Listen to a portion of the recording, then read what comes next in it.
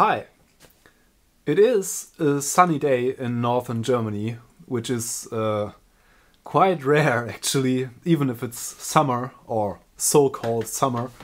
It we had some rainy days and some uh, grayish days, and yeah, it's actually the first day I have some time on my hands while it is still sunny um, in a long time. This project I'm gonna need some sun for. And what it is, I have my very yellowed uh, Amiga 1200 here, which I'm going to try to retrobrite. And it's the first time I um, attempt this, so yeah.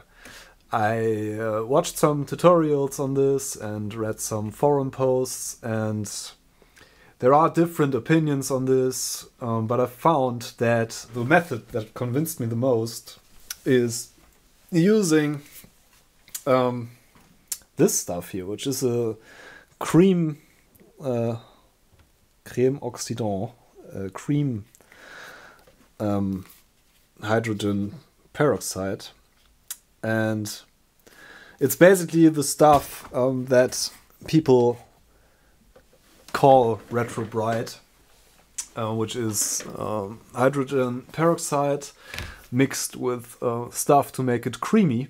This is creamy from the beginning. This is um, meant to be used on hair uh, to bleach it, and it's 12% uh, uh, hydrogen peroxide in there, which is um, the highest value you can get. At least in Europe, it's um, restricted because it's uh, pretty much it's it's quite dangerous really. You can um, hurt yourself if you touch it so i'm gonna wear gloves. Um, the first first thing i want to do is to clean this thoroughly and i'm gonna um, take it all apart. I'm take, taking apart the, the case and i'm also gonna take the keycaps off because they are also quite yellow. So let's see how it goes. Um, most people said you have to um, try it for some time and then uh, give it another layer of this and try it again and put it in the sun and turn it around and stuff like that. So let's first take it apart and clean it. It's a sunny day in paradise. Sunny day.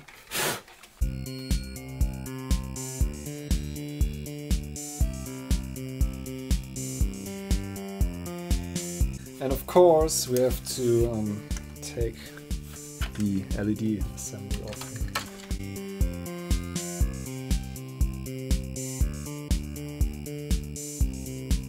You have to lift the, the mechanism to pull out the ribbon cable. And these break pretty easily, so be very careful. So there we are. Should take out the drive here. And it's quite yellowed here. It had some. You can see that it um, was exposed to some sun there.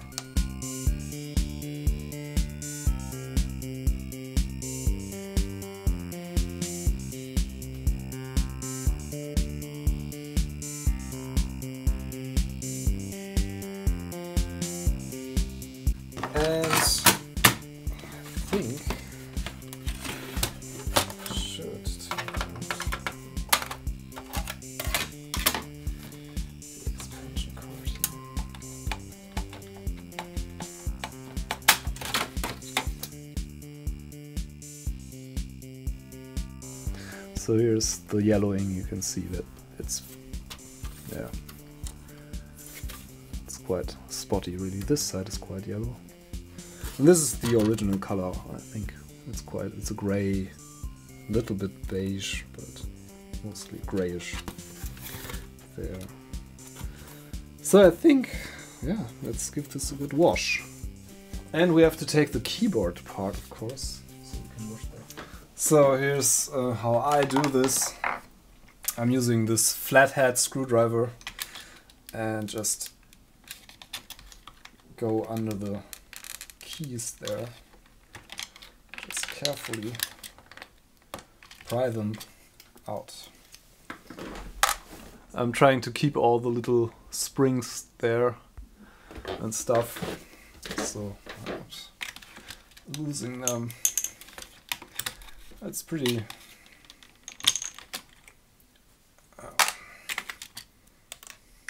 let's just do this.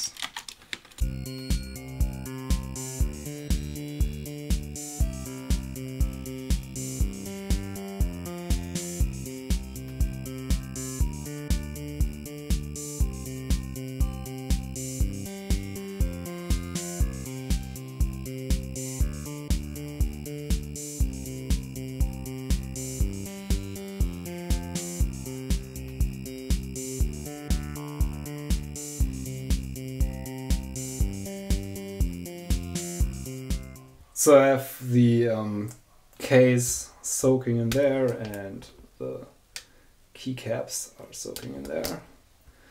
And I'm using uh, this stuff here. This works pretty well for removing um, fat and grease and nicotine stuff from plastics. And I'm always trying to make sure the water is not too hot because otherwise the plastic can uh, can bend basically. so I'm using lukewarm water like I would for taking a shower or stuff like that. So I'm gonna soak this for a bit and then rub it with uh, a brush to clean it and a sponge maybe.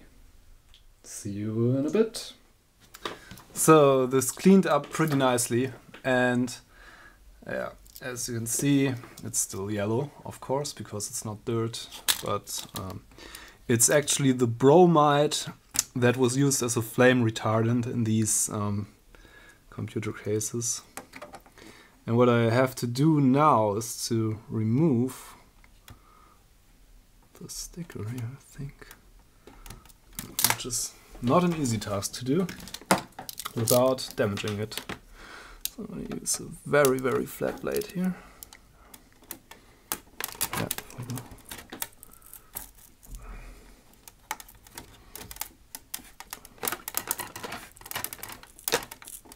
And I'm just wiggling a bit. And I'm very careful. and there's the original color of the whole thing underneath there. So. so I am about to take this to the balcony. Uh, the sun is gone a bit, but I think it's still better than to do it inside. And as you can see, I have a little uh, brush here I have some gloves on that are black. These are quite good for this job because you can clearly see if they get um, ripped or stuff, which is not so easy with the clear ones, I think. But it's it's pretty random. I just have these lying around. It's um, normal household um, uh, gloves that I'm gonna use. So I'm just giving this little treatment with some hydrogen peroxide cream.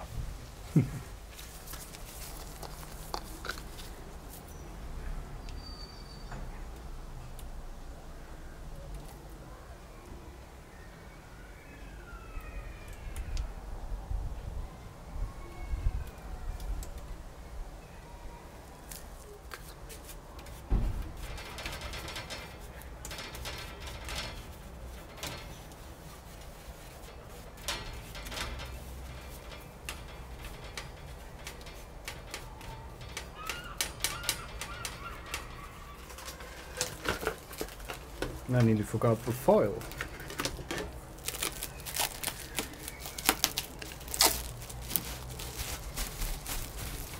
Just some uh, cling wrap, I think.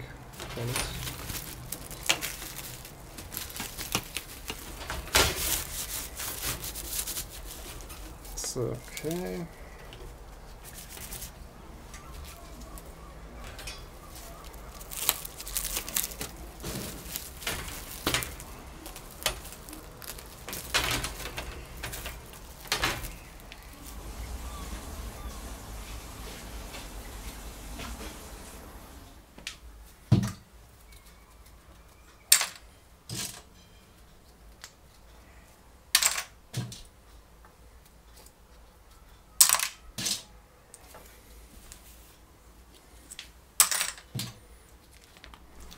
Think I'll put these in a Ziploc bag and put some hydrogen peroxide stuff in there.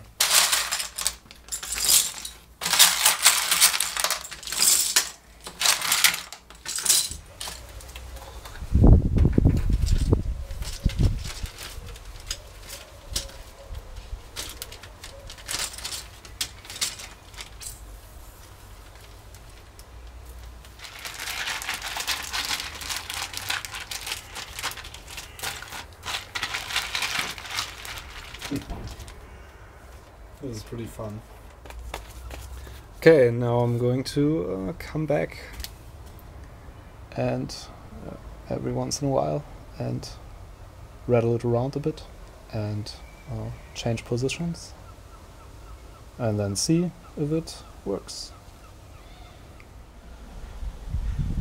So it definitely is a whole lot lighter after the night and um, five hours of daylight maybe.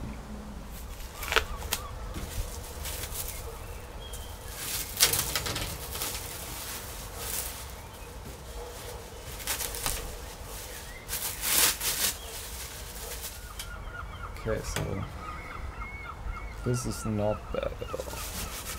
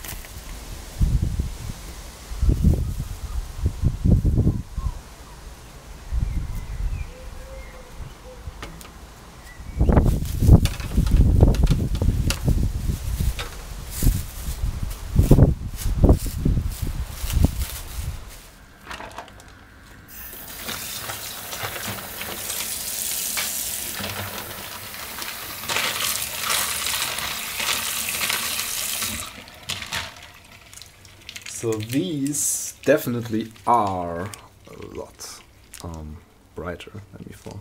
They're still quite yellow. So what I'm gonna try is to um, put some water and some hydrogen peroxide cream in here to have them evenly um, in there and then put them back. But this is much better already. Is working quite well. So some of this, a lot of this actually, and some water. Until they all, all nicely covered there, I think. So, right, let's give it another couple of hours, I think. The sun is, it's quite cloudy, sadly. So, yeah. But basically, I'm gonna let this sit there as long as it's uh, daytime. Let's see. Okay, this is a lot better. And this is the original color of the, the underside, the bottom of the case. It's pretty close already. It's still a bit yellow. So this is after um, two days and two nights. And yeah, I think I'll give it another day with um, some fresh uh, peroxide. And the keys are I actually dissolve them into water to get a more even look. I don't know if that's a good idea, but they are pretty white already, as you can maybe see. Yeah, they are still a bit yellow, so I'll give them another round too, I think. And yeah, but some of the, the really bad um, discolorations on the back here are completely gone. And the case was very yellow, it's very, it's pretty white now. Here you can see the, the difference here. That was that is the original color where the, the sticker was. not bad, I'd say. Not bad at all. So, if sunlight has anything to do with this, um, it's definitely not the time for retro. As you might be able to see, it's raining. Uh, I think it's called "It's Raining Cats and Dogs." so it's, it's, it has been raining all day, and it will, and it's pretty dark and cloudy. So, yeah, I'm basically gonna call it a wrap now. So this is what this looks like now. This is I, what I believe to be the original color. This is what we got. Um, it's pretty close, I'd say. So I'm gonna unwrap this and um, wash away the peroxide and then um, reassemble it. So yeah, I think it, didn't change um, in the last round. At least it didn't change much um, so maybe this is all we can get and we can't get it back to its fully to its original color. But it's way better than, than it was. It was really, really yellow. So yeah, let's see what this uh, looks like assembled. Alright, so here it is. Um, after three days and three nights or something like that. Um, didn't have much sun, but it's pretty close um, to its original color. You can still see some yellow stuff going on there, but it's very, very minimal. And it had this um, nasty discoloration here on this side here, which is completely gone. Nothing there. So it's pretty much, it looks like a new case nearly. So that's about as wide as it is. This is the original white where the, the um, Commodore sticker was. And you can pretty much see that it's very, very close to the original color. It looks way, way, way better than um, uh, before, at least. I'm very, very pleased with the result. It looks very nice. And I don't have any cloudy stuff, or at least nothing, nothing serious. There are some parts that are a bit more yellow, but it's all nothing serious. It looks pretty nice. Let's reassemble it.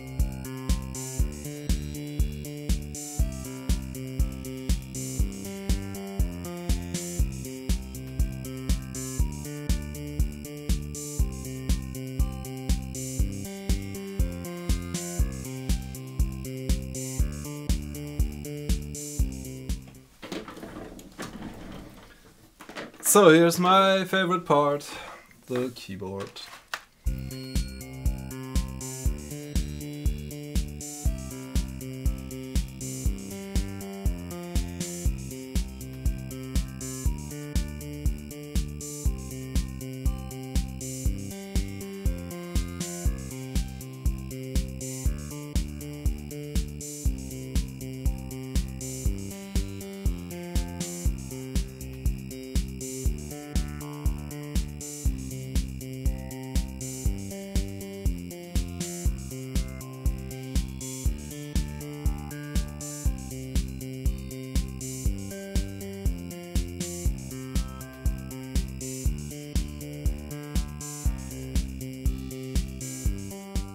So as you can maybe see, there are some slight discolorations. Maybe you can see it here. The 5 is a bit yellower than the rest. And maybe I'll have to redo the keyboard at some point.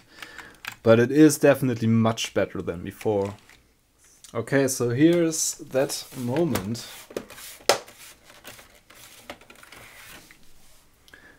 It doesn't look too shabby to me, I think. Okay, so I have this all reassembled and it's a lot whiter than before. Let's see if it still works. That's the um, most important part, really, I guess. So the picture quality is not gonna be amazing because it's the um, composite out only. But it probably will work. Ah, beautiful. Alright, let's see if this works. Yeah, so this about concludes the uh, Retrobrite session of this Amiga. I learned a lot. You need a lot of patience to do this, but um, basically can bring these back to their original color nearly. I'm pretty close, and I'm sure, yeah, that's about as good as it gets. Took some days, really. You don't really need sunlight. It worked without sun, it only took longer. Most probably. I have no um, no experience whatsoever, so can't really tell if it takes any longer. But it worked out pretty well without much sun.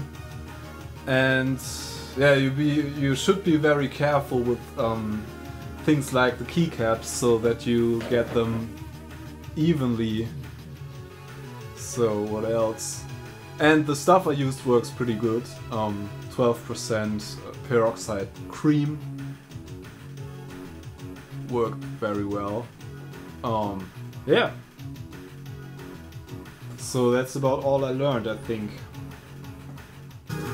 Hope you enjoyed this. If you want to support me, there's um, links to um, my Patreon and a PayPal donation link and uh, stuff like that in the video description and on my channel page basically. And yeah, you can also give this a thumbs up if you liked it and subscribe to my channel of course. There's a lot more retro computing stuff going on here usually. So yeah, that's basically it. Hope to see you again sometime. I'm Jan Beta. See you next time. Bye.